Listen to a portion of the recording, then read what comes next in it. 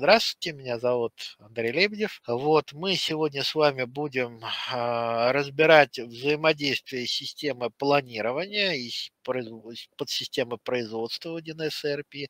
В частности, мы затронем все те моменты, э, которые связаны с полуфабрикатами. Сразу хочу сказать, надеюсь, что на это время хватит, мы немножечко выйдем э, за рамки вот такой обычной настройки, чуть-чуть э, на пользовательском уровне доработаем систему, чтобы добиться того эффекта, который мне хочется вам показать. Напоминаю, мы сейчас с вами переключимся в демо-версию.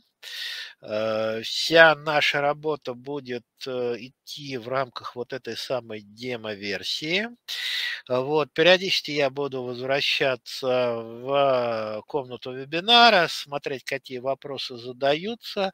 Вы их задавайте, пожалуйста, что э, смогу, отвечу в ходе, что не смогу, я отвечу уже по окончанию вебинара. Включаю демонстрацию. Так, ну что, давайте, значит, э, с чего мы э, с вами начнем? Э, мы разберемся с вами в связи между подсистемой производства и подсистемой планирования.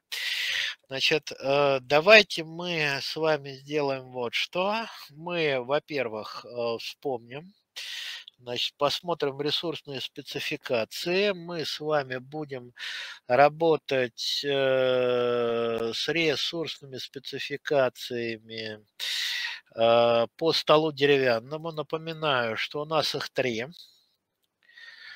Вот э, здесь у нас э, явная ресурсная спецификация э, которая не включает в себя подэтапы. Я единственное что, я добавлю еще мебельный лак, так, чтобы там было что-то. Вот. Вот, можем мы э, работать с вот этой вот ресурсной спецификацией. Так, а, значит, можно работать вот с этой ресурсной спецификацией. Здесь у нас э, все то же самое, но идет ссылка на э, другую ресурсную спецификацию. Сюда я тоже добавлю лак. Обеспечивать э, и материалы основные. Ну и третий еще есть внутренний полуфабрикат. С внутренним полуфабрикатом мы сейчас с вами связываться не будем. Значит, а, давайте мы с вами посмотрим, а, каким образом а, мы вот эту вот информацию можем использовать в подсистеме планирования. Значит, в подсистеме планирования у нас две основные аналитики. Это сценарий планирования и виды планов. Если мы берем сценарий планирования, то что мы здесь с вами задаем? Мы э, задаем возможность планирования под назначением, мы задаем периодичность. Вот. Ну, управление процессом планирования мы включать не будем с вами. Значит, и вот э, важный момент, обратите внимание, э, значит, наверное, здесь стоит пояснить. Э, здесь э, уже настройки, связанные непосредственно с производством. Обратите внимание, что э, здесь э, ставится галочка расчет потребностей в материалах, видах РЦ и трудовых ресурсах. Это будет влиять на возможность создания соответствующих отчетов. И обращаю ваше внимание на вот эту вот настроечку. Потребность в материалах наиболее вероятная. Значит, в принципе, я э, уже рассказывал, что это такое. Э, ну, тут могут быть люди, которые на первых вебинарах э, не были. Э, надо ли пояснить э, суть этой настройки? А версия? Э, версия у нас 256. Вот. Ой, не туда нажал, прошу прощения.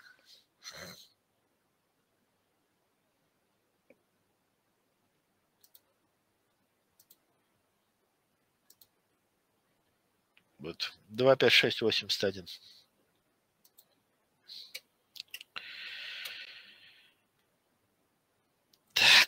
Значит, что такое потребность в материалах? Здесь вот какой момент.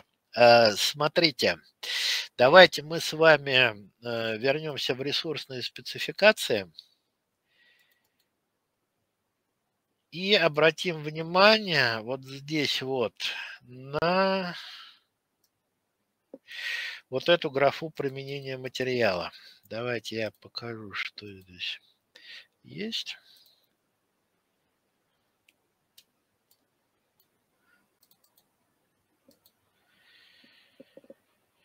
Вот, э, значит, э, смотрите, здесь мы можем э, включить переключатель по умолчанию по требованию, да, значит, и указать вероятность применения.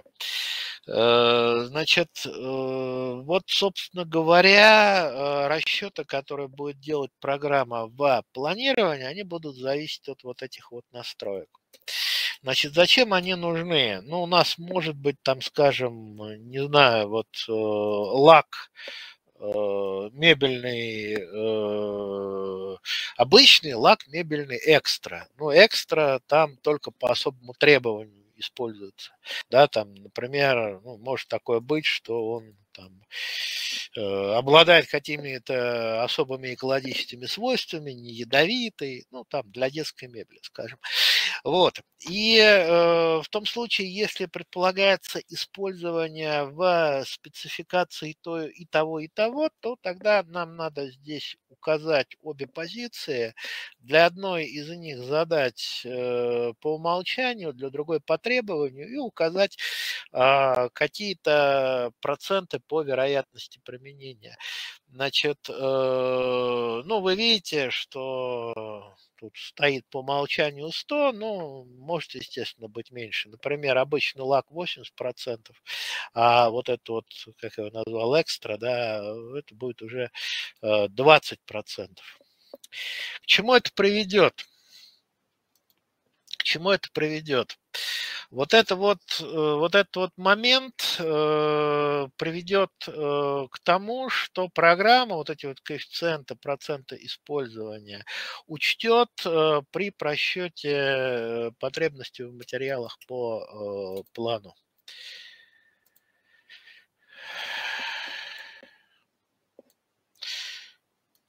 Если у нас стоит наиболее вероятное, то это значит, что вот эту вот основную позицию, обычный лак, она будет поставлена, э, исходя из плана, но с коэффициентом 0,8, а э, альтернативная, значит, которая по требованию, исходя из плана с коэффициентом 0,2.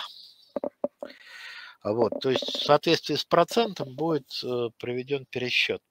Если вы берете оптимистичный вариант, то тогда у нас э, будет произведен соответствующий э, пересчет, точнее не будет произведен соответствующий пересчет, и будет просто тупо закуплен только основной материал без каких-либо поправок.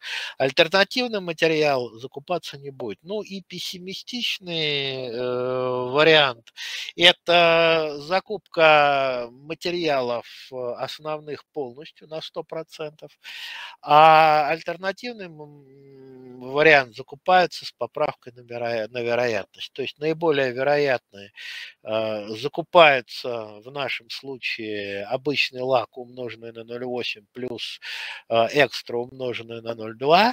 Оптимистичный закупается только обычный лак, значит, без какого-либо домножения. А пессимистичный закупается э, обычный лак без домножения и альтернативный то есть э, лак экстра, умноженный на коэффициент 0,2.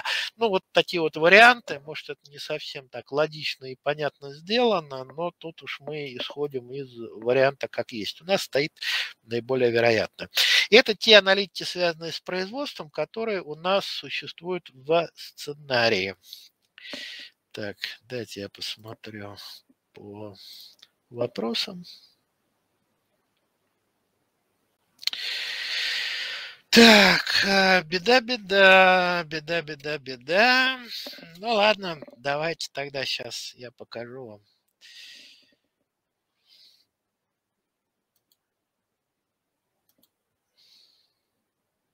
Сейчас, секунду. Тогда давайте вот так вот сделаем.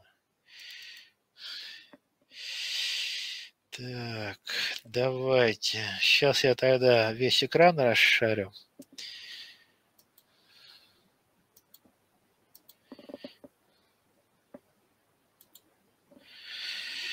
Так, ну что, теперь видно, да? А, вот э, настройка сценария товарного планирования. Соответственно, вот вам настроечка э, наиболее вероятно оптимистичная, пессимистичная.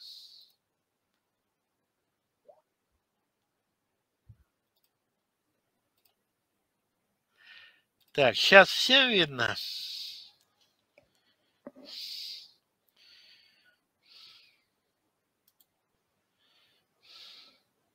Да, хорошо, тогда возвращаемся и идем дальше. Значит, э, планирование количественно-количественно-суммовое производство никак не касается. По структуру плана. Значит, э, вторая аналитика, которая э, доступна, это вид плана. Ну, здесь, в общем-то, ничего такого сверхспецифического нету. Есть оговорка по планированию фабрикатов, но это вы сейчас увидите. Замещающие, суммирующие – это общие аналитики, то есть они касаются того, э, что будет делать новый план, он будет затирать предыдущий или добавляться к нему. Ну и, э, соответственно, э, правила заполнения действующей спецификации. Ну, на самом деле тут вот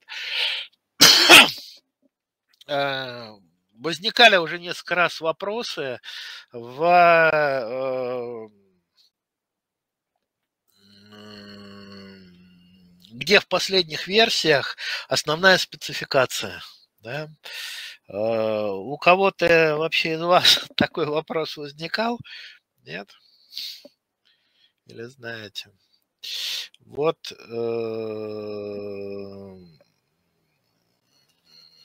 Значит, в последних версиях немножечко изменили вот эту вот логику э, выбора спецификации. Теперь понятия основной нет. Вот. Но программа умеет высчитывать э, основную спецификацию э, не для конкретного изделия, а для конкретного случая. И вот этот вот подсчет для конкретного случая, он зависит в том числе и от даты ввода в действие спецификации. Вид плана замещает план с таким же сценарием, а, значит, замещает не вид плана, замещает экземпляр плана, а, и, и замещает он, естественно, другой экземпляр с тем же самым видом и с тем же самым сценарием. Но вообще говоря, а, вид плана, если вы посмотрите внимательно на то, что я показываю, вид плана жестко привязан к сценарию. То есть э, один вид плана для нескольких сценариев существовать не может. Для э, каждого сценария создает свой, создается свой собственный перечень планов, видов планов. Так, ну, настройте заполнение, это как это все формулируется, да, формируется, для этого мы сейчас еще дойдем. Давайте мы с вами создадим экземпляр плана. Так, значит, э, планирование, плана производства, создать. Значит, создавать мы будем, ну, пускай на сентябрь. Вот, э, сценарий указываем, вид плана указываем. И давайте добавим продукцию. Да, какой он там, стол деревянный. Значит, обратите внимание, что система нам подставила э, спецификацию внутренний полуфабрикат. Почему так произошло? Ну, вот эта вот спецификация, она считается последней. Если мы посмотрим вот эти самые ресурсные спецификации, то мы, скорее всего, увидим, что по датам это действительно самая последняя спецификация. Так, давайте я ее включу всем. Так, при э, прочих равных, естественно, будет браться. Так, что там меня не устраивает-то? Что-то не указал.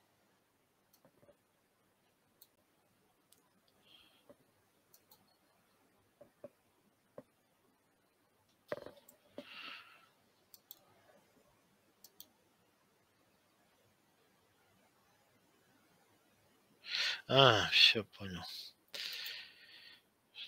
Стола, давайте тоже. Вот так вот.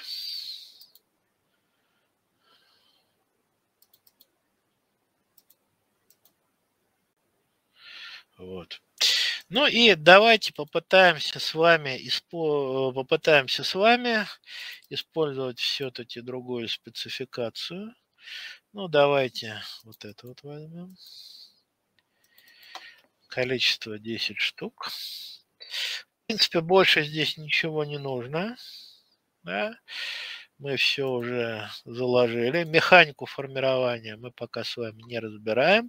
План утвержден. Проводим его. Обратите внимание. Потребность в материалах, видах РЦ и трудовых ресурсах рассчитана. Ну, собственно говоря, это то, чего мы с вами добивались. Давайте посмотрим. Ну, нас будет интересовать потребность в материалах.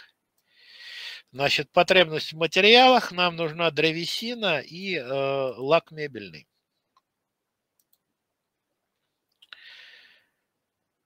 Потребность в полуфабрикатах – нам показана потребность э, в ножке э, стола, ну и царди. Больше ничего здесь не увидели. Значит, если мы посмотрим, как это здесь выглядит. Ну, значит, основание стола и столешница. Ну, вот здесь, э, как вы видите, это было пропущено, то есть перескочили сразу на следующий этап. Значит, что с этим делать, я сейчас вам тоже покажу. Значит, давайте э, попробуем заменить э, на вот это вот.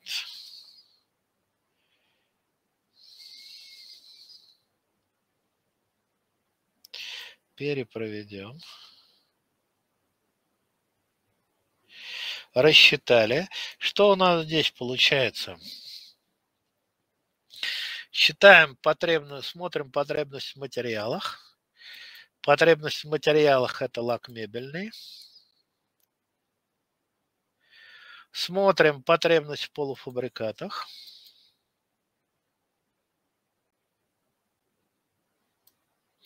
Здесь мы э, видим полный перечень э, полуфабрикатов, которые нам потребуются.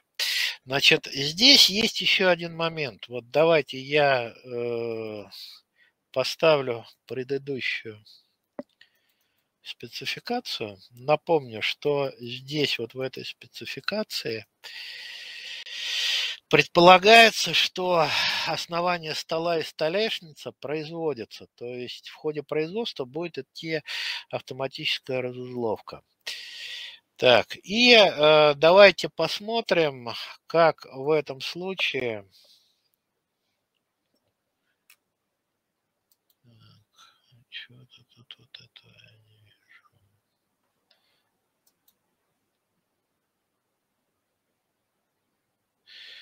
Как в этом случае будет работать вот эта вот команда?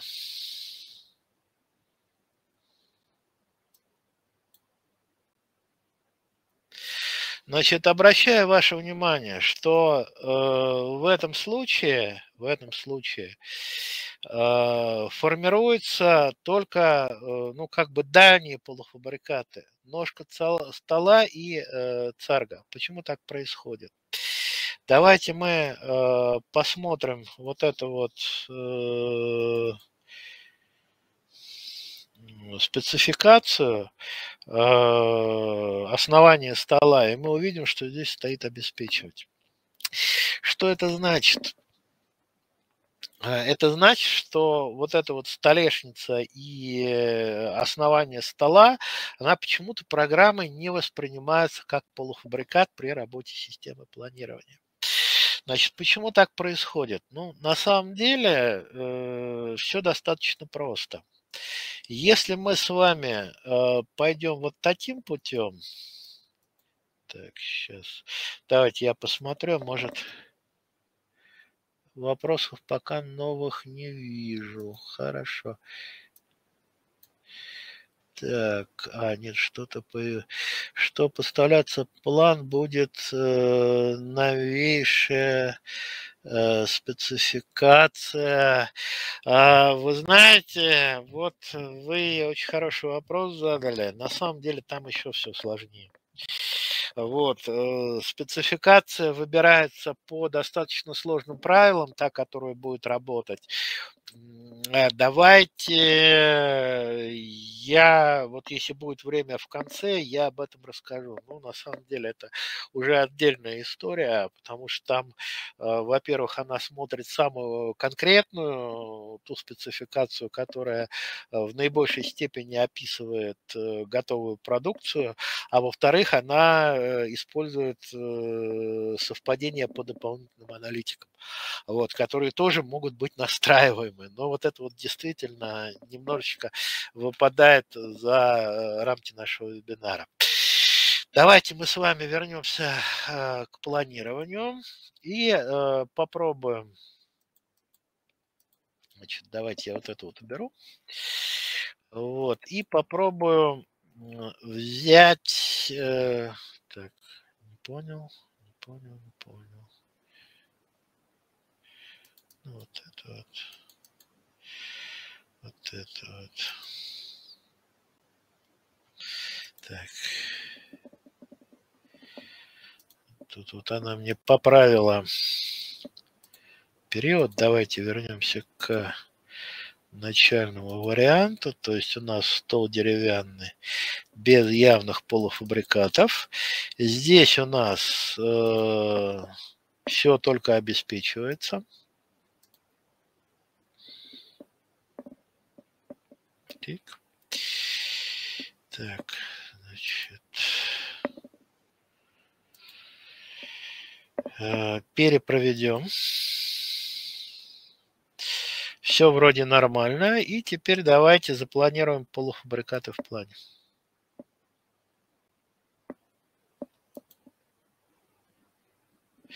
Ну вот смотрите, здесь все как бы логично. То есть программа посмотрела, что из чего делается, и э, поскольку 10 штук мы должны произвести в сентябре, она на предыдущий период, это всегда будет так. Если вас смущает то, что в сентябре у нас сразу добавляется производство августа, ну, значит, вам нужно использовать вот здесь другую периодичность. Напоминаю, что это в сценарии настраивается. Делайте периодичность неделю, делайте периодичность день, ну, тогда все будет логично.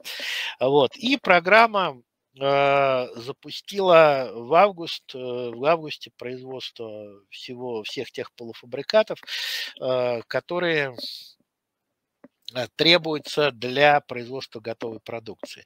И здесь сразу же встает вопрос, такой не очень явный. Дело в том, что если мы посмотрим вот эту вот спецификацию,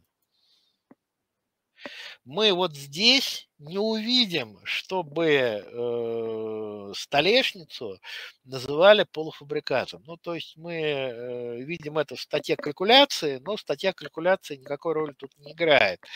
А вот э, мы можем э, поставить ее по своему усмотрению, это только на отчеты э, будет иметь какое-то воздействие. Вот. Каким образом программа поняла, что столешница и основание стола – это полуфабрикат.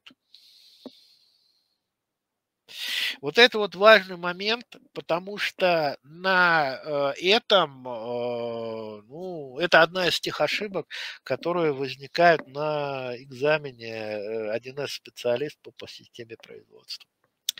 Дело в том, что столешница, она стала полуфабрикатом исходя из схемы обеспечения. То есть для того, чтобы программа решила, что это полуфабрикат, его надо учитывать соответствующим образом. Так, нам надо, чтобы у э, этого ТМЦ был способ обеспечения собственное производство. Вот если вы его производите сами, тогда программа будет считать, что это полуфабрикат и э, сможет э, использовать его вот э, в этих самых разузловках. Иначе в разузловку у вас ничего не попадет. Так, ну вот здесь понятно более или менее. Да, схема обеспечения, совершенно верно.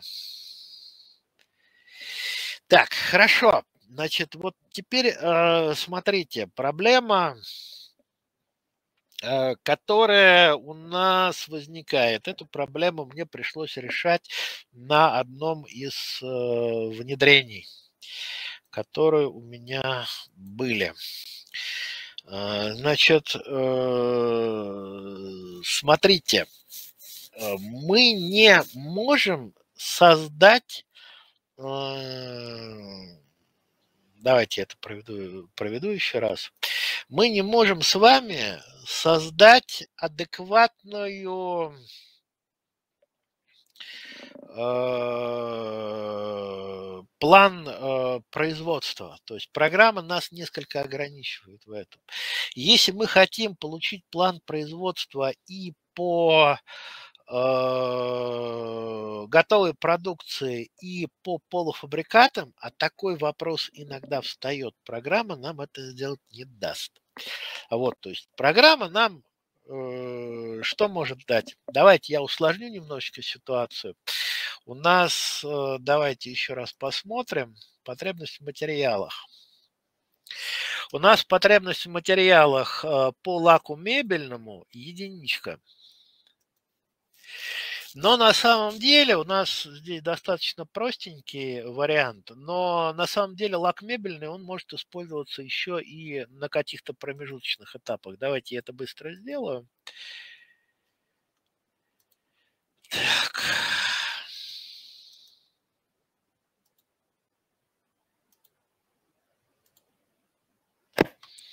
Ну, я не буду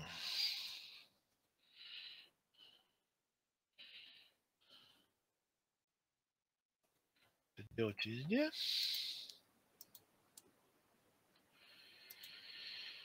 Ну вот, для столешницы, для основания стола я сейчас введу этот самый мебельный лак. Да? Так, что-то...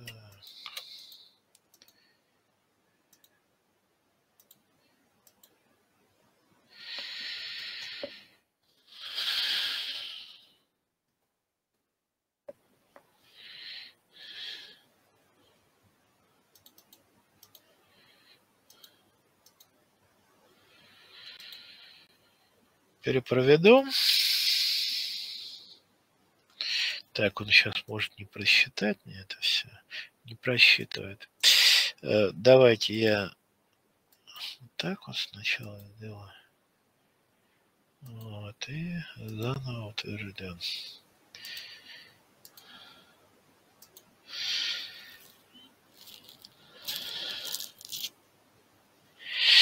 Вот, и сейчас еще сделаю.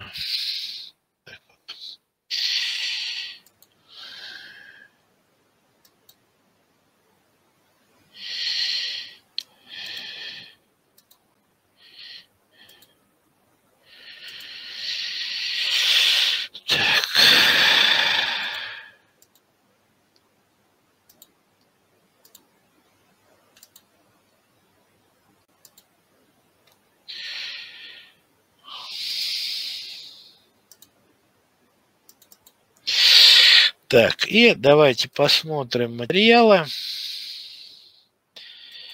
Так, ну, материалы показаны только на э, последнем этапе. Давайте, чтобы нам э, показали все, я поставлю вот этот вариант. Спецификация. Вот так вот.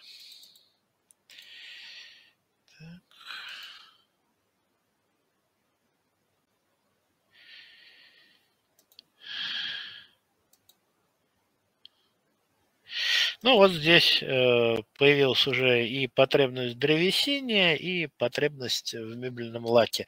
Древесине э, потребность появилась э, только, я смотрю, по столешнице. Так, давайте тогда я вот это тоже поправлю, чтобы у нас был единый вариант основания стола.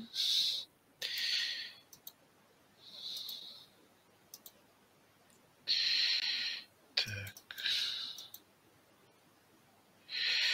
Тут тоже поставлю произвести по спецификации. И здесь поставлю произвести по спецификации.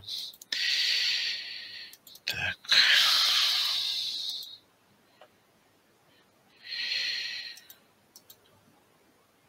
Вот, тут вот у нас теперь уже идет полная разузловка.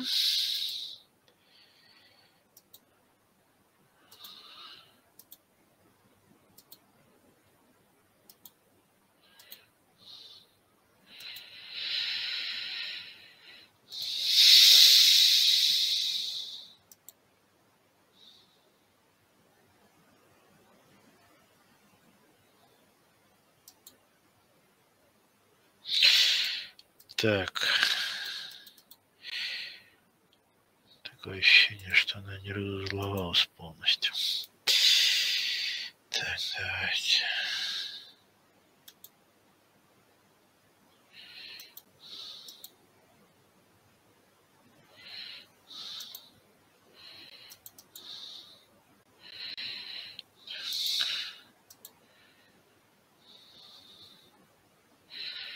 Нет, все нормально, все корректно. Давайте.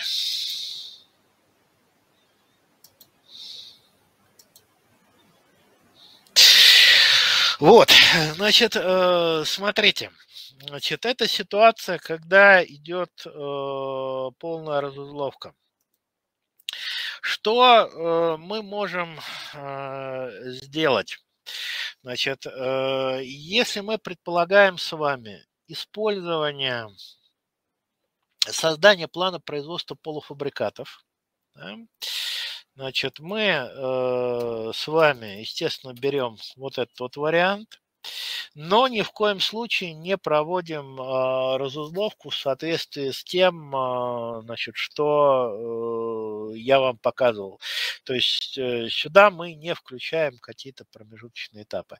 Мы сейчас попробуем на основании вот этого плана производства создать, э, соответственно, план закупок для материалов и создать план производства для полуфабрикатов.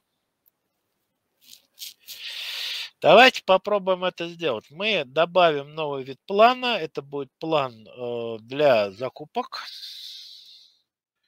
Закупки для производства.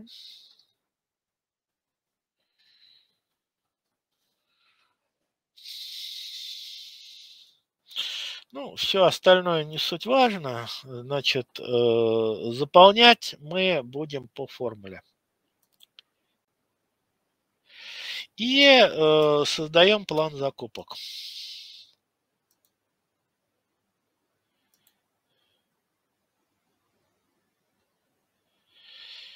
Так, э, вебинар. Закупки для производства. Сентябрь. Подготовьте. Э, заполнить товары. Значит, ну вот здесь э, мы что можем сделать? Мы можем отредактировать формулу. Давайте посмотрим, какие варианты у нас здесь есть. Планируемый расход. Э, ну вот мы значит, можем взять план производства потребностей в материалах, например и попробуем сформировать по нему. Так. Проверяем формулу. Вроде все нормально. период э, текущий берем, то есть сентябрь.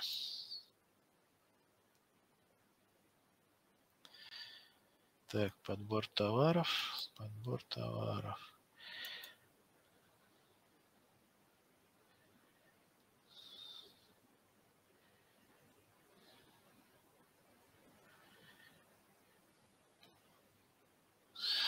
Так, нет, тут что-то она немножечко не так пошла.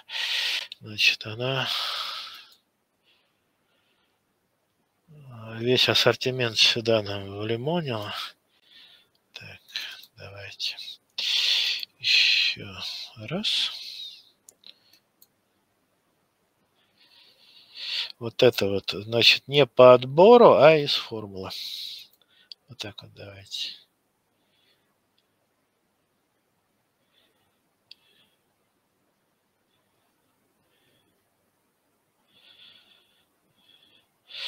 Так, ну вот здесь она ничего не увидела. Давайте еще раз э, посмотрим. Плана производства материала. Ну, в принципе, она э, должна была нам что-то показать, но показывать она не хочет. Давайте тогда мы э, пойдем немножечко другим путем. Я сейчас еще раз проверю. Значит, э,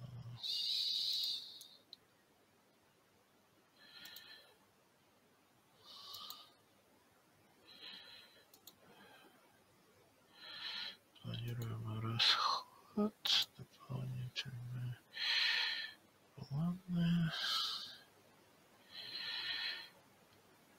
Попробую вот так вот сделать. Вот не совсем это правильно, но вот что-то она капризничает. Так, ну вот здесь мы видим, что она действительно определила э, правильно план производства, но вот она там не видит материала, которые нам надо сделать.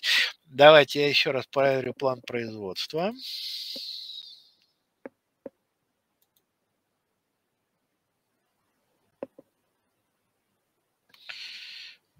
Да, все правильно.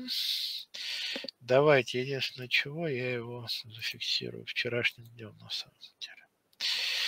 И попробуем изменить плана производства, плана производства, потребность в материалах, э, потребность в полуфабрикатах. Вот так вот.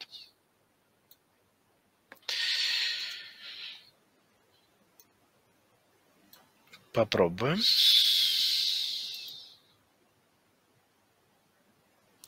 И это не видит.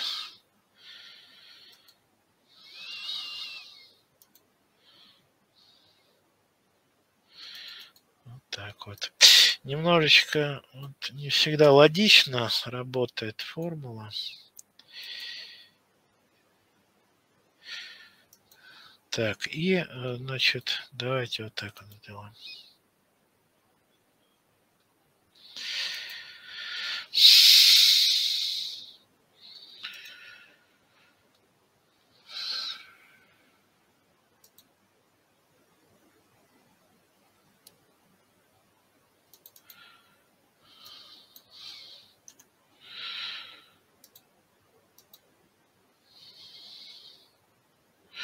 Вот, ну вот смотрите, проблема была э, в чем? Э, значит, проблема была в том, что у нас, э, что я не учел э, вот эту вот э, логику системы. Значит, она все-таки действует в своей парадигме, в соответствии с которой э, поставка должна быть осуществлена в предыдущий период. Значит, э, соответственно, она э, хочет, чтобы у нас поставка была в августе. Так, хорошо. Вот, э, значит, обращаю ваше внимание, что э, у нас в план закупок попало только то, что только то из материалов, что потребуется э, на данном этапе. Значит, не совсем понятно, почему она с полуфабрикатами так капризничает. Ну, бог с ним. Давайте посмотрим, как будет вести себя система в том случае, если мы изменим план производства и добавим сюда э, спецификацию с полной разузловкой.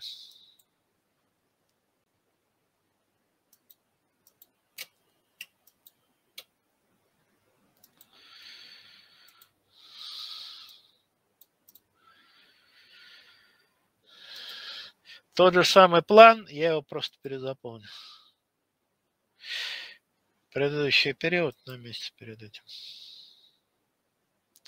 Ну, вы видите, что в принципе у нас э, система перестает видеть даже лак почему-то, хотя э, здесь в принципе все достаточно корректно.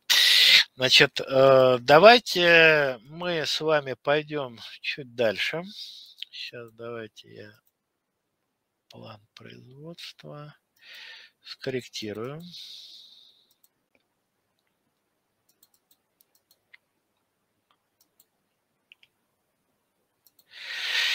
И давайте мы попробуем с вами решить эту задачу немножечко другим путем. Мы с вами скорректируем э, вид плана и указываем, что э, заполняться он будет по источникам.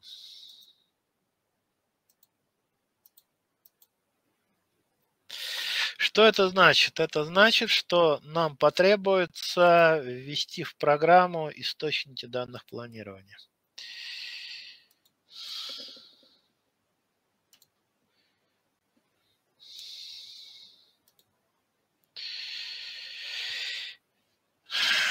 Значит, э, источники данных планирования. Создаем новый источник. Значит, э, новый источник у нас э, будет какой? Плана производства материалы. В принципе, здесь типовых вариантов достаточно много. Плана производства материалы. Ну и называться он будет также. Значит, я просто скопирую сюда.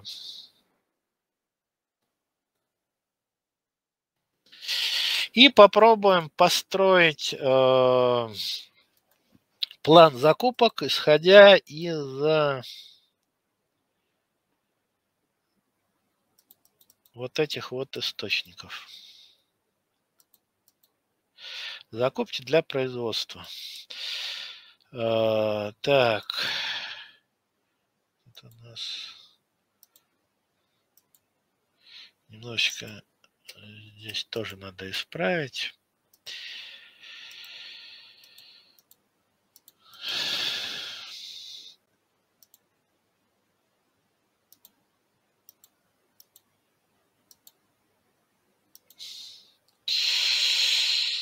Так, э, настроить правила и заполнить. Ну вот давайте мы с вами, я включу полные возможности, источник заполнения количества. Так, стоп. Так вот. Источник заполнения количества у нас будет э, плана производства материала. Вот, и, э, значит, э, в настройках мы э, зададим смещение периода. Ну, давайте пока ставим 0 и посмотрим, что будет. Заполнить документ. Значит, здесь мы ничего не видим. Проверим, план производства у нас сделан. Он на сентябрь, но он в подготовке. Вот, вот оно что. Значит, утвержден. Проверили. И давайте вернемся к плану закупок. Оставляем то же самое, э, те же самые настройки. Заполнить документ. Нулевой результат. И тогда мы изменяем в настройках смещение периода. Ставим минус один.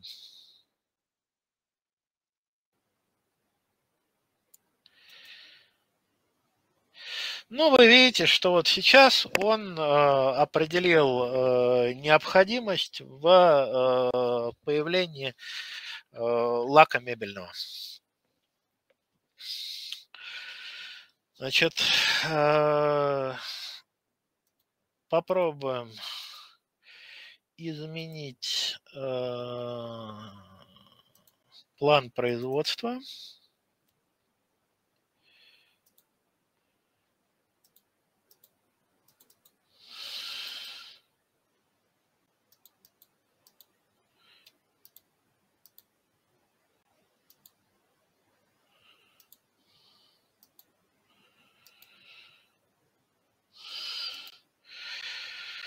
Так, э, значит, и э, посмотрим, к чему э, это приведет.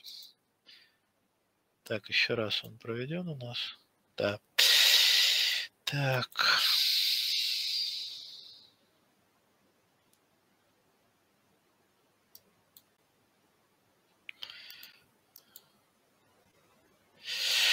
Ну, вот смотрите, в данном случае, когда я использовал вот этот вот вариант, у нас э,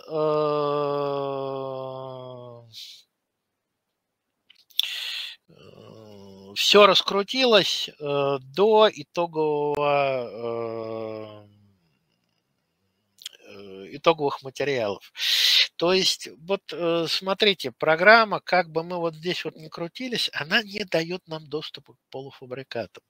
А у нас задача, если вы помните, э, построить э, план производства полуфабрикатов. И вот в таком виде, ну, либо нам надо строить по потребностям, вот тогда, в принципе, все должно получиться, либо нам надо разузловывать.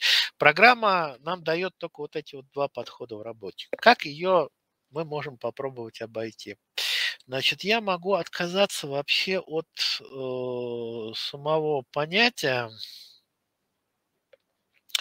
полуфабрикат э, в том виде, в котором э, мне это диктует программа.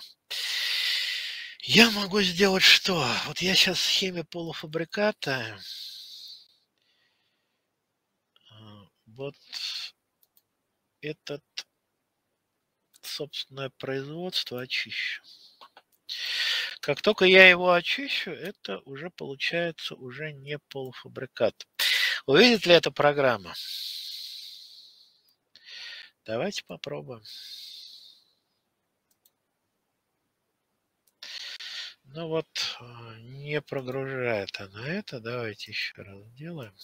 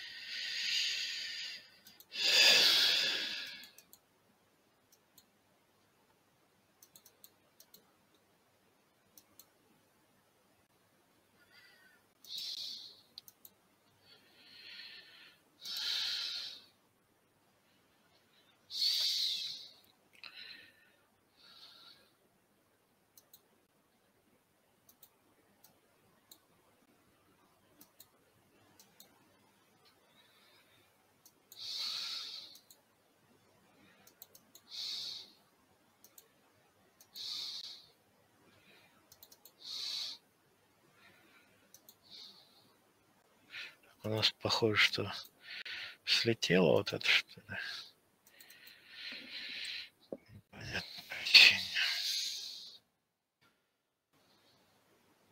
Вот. Вот смотрите, как только я отключил производство, э, у нас э, получилось что? У нас э, получилось сейчас что программа начала вот это вот основание и столешницу рассматривать как материал. Но э, еще раз повторяю, для меня нужен какой-то свой э, способ вот этого вот развлечения. То есть я не должен, если речь идет о плане закупок, я не должен э, рассматривать вот это вот как материал. Если э, речь идет о создании плана производства, значит, э, я э, могу создать вид плана, там, вебинар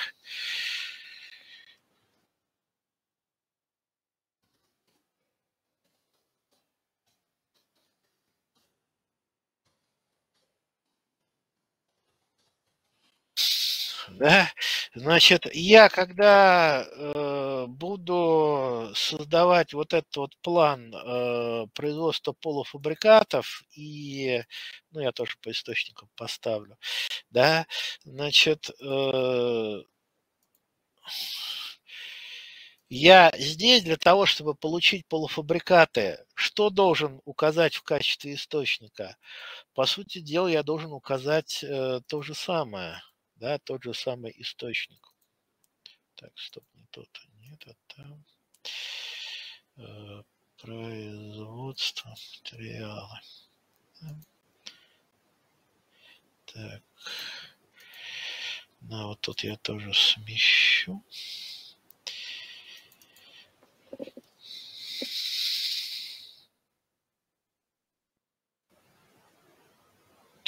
И э, получается-то что? Вот я здесь пытаюсь составить план производства э, по материалу, э, план производства, у меня попадают и материалы, и полуфабрикаты.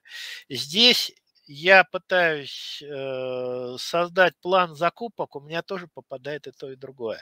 То есть получается, мне сейчас надо придумать какой-то свой способ, как значит, программа будет отличать полуфабрикат от э, материала. Значит, каким образом я это могу сделать? Простейшая доработка, но доработка, как я и говорил, пользовательская. Значит, у нас э, вот сюда, да, вид номенклатуры. Я добавлю э, реквизит. Но вот тут у меня есть реквизит роль в производстве. Да, но это не совсем будет удобно. Значит, э, я добавлю новый реквизит, который будет называться уровень полуфабриката. Да. Э, и я э, укажу, что этот уровень полуфабриката у меня будет числом, точность у него будет 0, э, будет оно не отрицательное, ну и длина мне на самом деле двух хватит. Вот такой вот дополнительный реквизит у меня будет. И что я сделаю? Я для лака мебельного, так, для лака мебельного, его там я не добавил. Сейчас, давайте.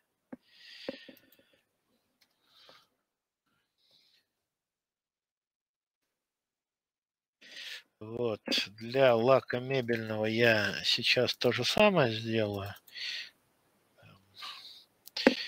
дополнительный реквизит добавить как он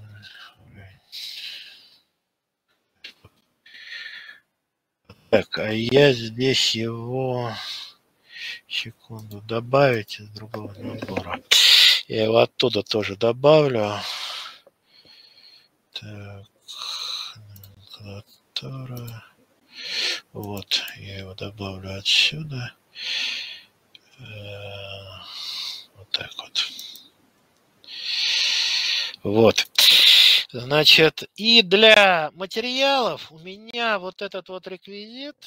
Так, где он у нас тут есть?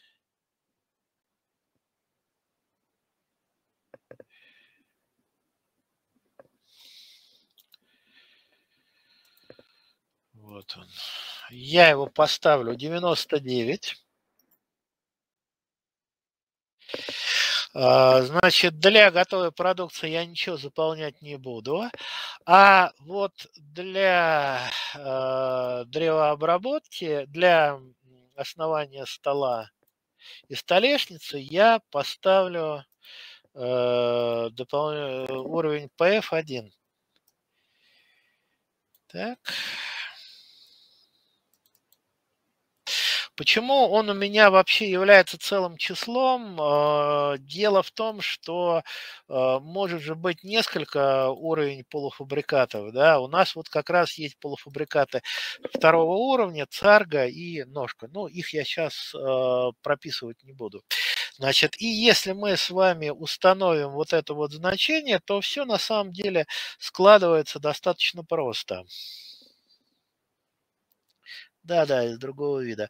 А, Все складывается достаточно просто. Для того, а, чтобы у меня нормально формировались вот эти вот э, планы.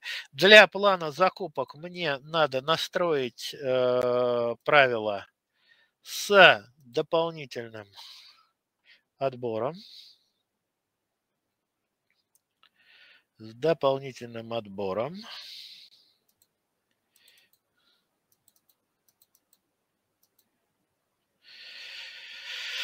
В данном случае, какой у меня будет дополнительный отбор?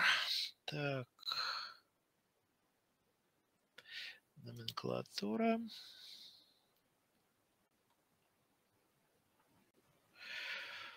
Уровень PF равно 99.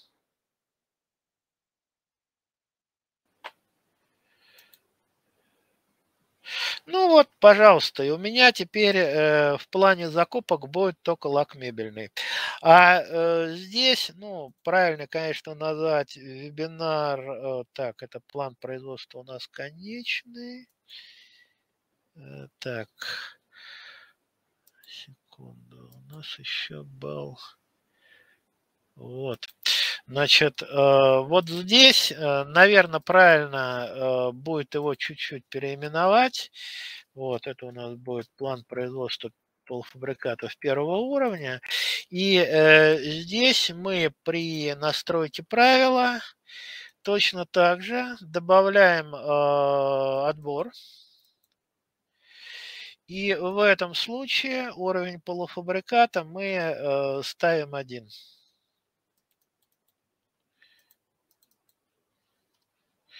То есть вот такая вот у нас за счет планов происходит э, ручная разузловка. Вот, пожалуйста. Вот. Единственное, о чем надо помнить, после того, как вы эту ручную разузловку сделали, вы должны в плане закупок э, немножечко по-другому сделать. У нас здесь будет не э, одно, один источник, у нас здесь будет несколько источников.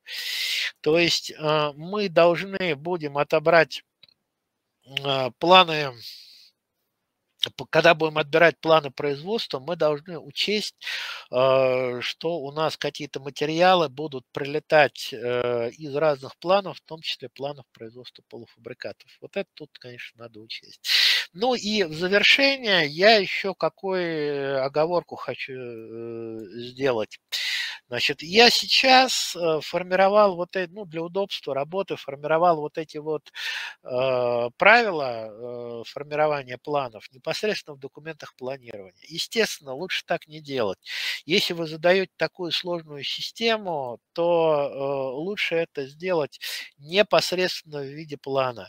Значит, обратите внимание, что в виде плана вы можете задать правила заполнения по умолчанию. Здесь вы видите тот же самый интерфейс.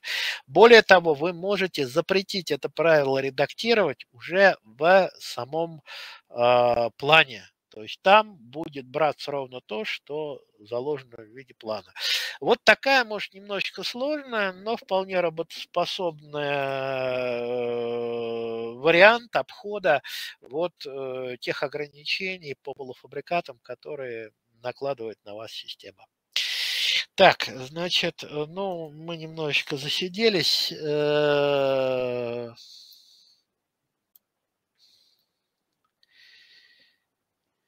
Так, э, значит, э, есть ли какой-то вариант, чтобы запланировать полуфабрикаты и ГП в один месяц? Ну, в общем-то, можете попробовать сделать так, как я сказал. В принципе, обратите внимание, мы там даже брали сдвиг, но план-то был, э, делался на тот же самый период. Так, а, схема обеспечения э, не отменяются, ну да, возможно. Хитрость доп. реквизитом а, ненадежна, ну, надежна доработка. Значит, э, что касается хитрости с доп. реквизитом, пока она меня не подводила, э, вот, но я хочу просто подчеркнуть, что в рамках э, вот тех вебинаров, которые я веду, я не ухожу в задачи доработки. Я показываю вам э, то, что можно сделать э, пользовательскими, пользовательскими усилиями. Вот. Поэтому, ну вот как бы так. Спасибо. До свидания.